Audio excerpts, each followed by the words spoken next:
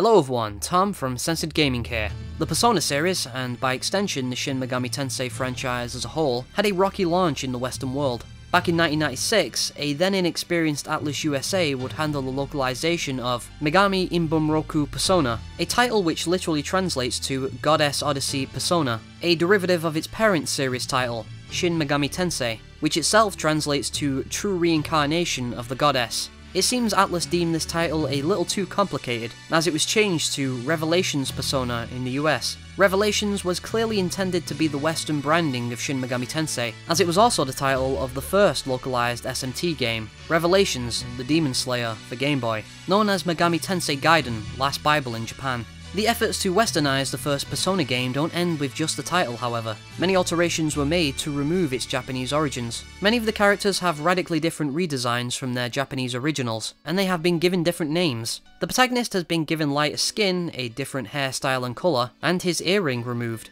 Kei Nanjo, renamed Nate Trinity here, has also had his skin lightened and his hair colour changed.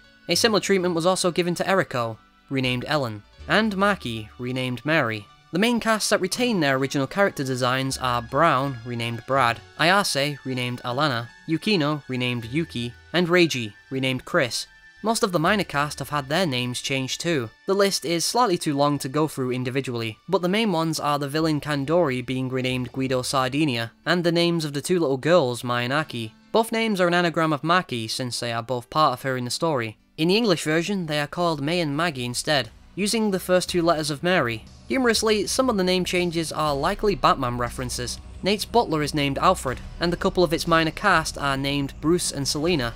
The biggest and most controversial of these changes is the character Mark, who is, ironically, one of the few characters to retain his name from the Japanese version. Mark is black in the US release, and everything about his design, sans his pose, has been radically changed. Since black people are significantly more common in the US and Japan, this is suspected to be another result of transposing its setting. The original setting was a fictional, yet very Japanese town called Mikagecho, complete with Shinto shrines. Here it's renamed Lunavale, possibly as a reference to the moon phase mechanic in the game. This trend of renaming aspects of the game is absolutely everywhere, and doesn't apply exclusively to Japanese words and names. The Agastya tree is now the Augustus tree, and many of the demons, personas, skills, and items have different names too. This video would be far too long if we went through them individually, but you can read many of them on screen now. A recurring theme with the name changes is that they are somewhat dumbed down, and trade their original name, which usually has mythological roots, for a name that is easier to understand. For example, Titania, the Queen of the Fairies from A Midsummer's Night's Dream, becomes simply Queen Fly, Moshivu becomes Kimono, Leprechaun becomes Ghoul, possibly because of its appearance, Durga becomes Dwarfen, and so on. Although some of the changes seem to come from lack of research, and are direct Romanized translations. For example, Armaiti is called Almighty. Armaiti is the wise patroness of the earth in Zoroastrian mythology. It is not a clumsy Japanese rendering of the word Almighty, as the localizers must have assumed.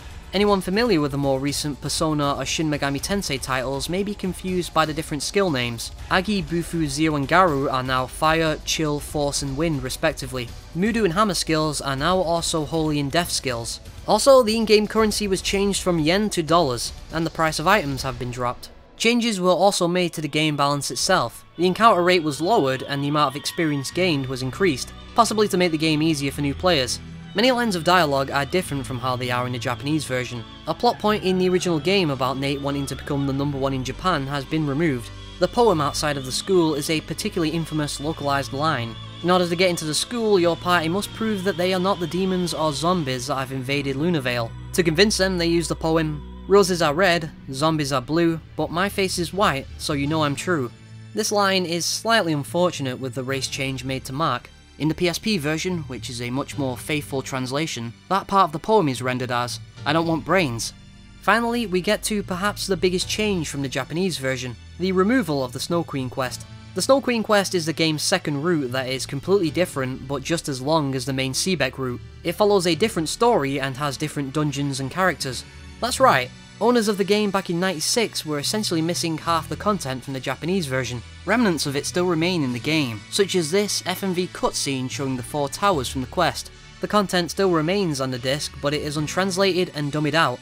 There are two reasons why it was removed. One reason is that Atlus wanted the game out before Christmas, and the Snow Queen quest was simply too time consuming to translate. The other reason is that Atlus themselves found it too difficult, and the method the player uses to unlock the quest was found to be too obtuse. The quest was restored in a 2009 re-release for the PSP, titled Shin Megami Tensei Persona.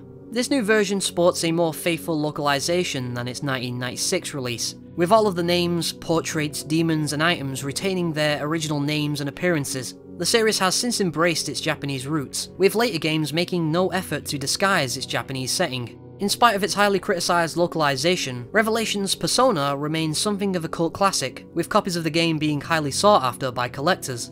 With Persona 5 releasing April 4th, 2017, with a confirmed faithful localization and zero cut content, it's interesting to go back and see how the series was initially launched in the West, and how Atlus USA has improved its localization practices. I've been Tom from Censored Gaming. Thank you for watching.